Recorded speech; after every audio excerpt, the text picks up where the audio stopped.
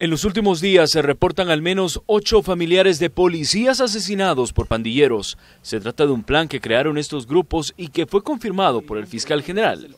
En este espacio, diputados de la Comisión de Seguridad del Parlamento revelaron que hay una estrategia en marcha para hacer frente a esta situación. Que por razones de seguridad no las vamos a mencionar, pero que esperamos den resultado eh, yo quiero decirte con plena certeza que el, informe que nos daba el Gabinete de Seguridad el día de ayer es que ya hay medidas fuertes en ese sentido.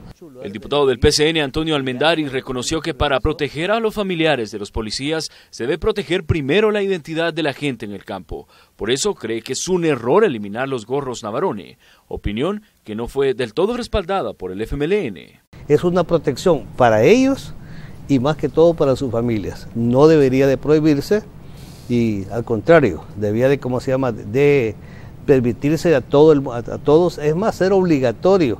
Aquí el punto es evitar que eh, la situación complicada, los esfuerzos de control y represión vayan a desbordarse en eh, acciones de violación a los derechos humanos. El diputado Misael Mejía reaccionó a las constantes críticas que han surgido por la distribución de los más de 74 millones de dólares como parte de la contribución especial, asegurando que el 70% fueron destinados al control y represión del delito, el resto a prevención. El esfuerzo de prevención es fundamental porque si no entras en un ciclo de violencia, eh, en el que si no combatís causas, en el que si no brindas oportunidades, en el que si no cortás el crecimiento de los grupos criminales, no resolvés nada con control y represión del delito. Los parlamentarios son de la idea que la seguridad es muy parecida a la salud.